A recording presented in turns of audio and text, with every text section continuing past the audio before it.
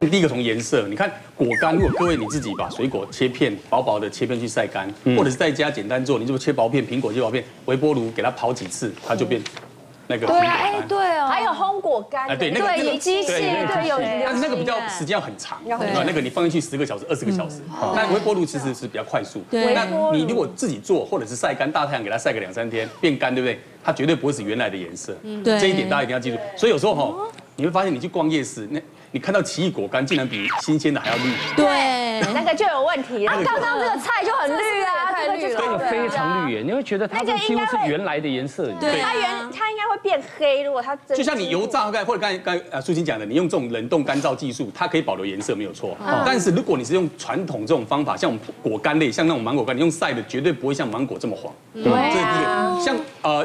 凤梨也不会像凤梨这么黄橙橙的，一定会稍微偏暗一点，这是最基本的原则。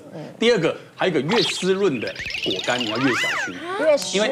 对，因为湿润要好吃嘛，但是越水分越多也越容易怎样？细菌。也喜欢吃，对，所以你在包装上，我建议大家在挑选果干最好是包装完整，嗯，越湿润的最好是真空密闭，嗯，这样的话，你从成分的看的话，从成分来去看，它防腐剂的用量会比较少，好，所以这几个原则还有味道，好，果干干燥下来。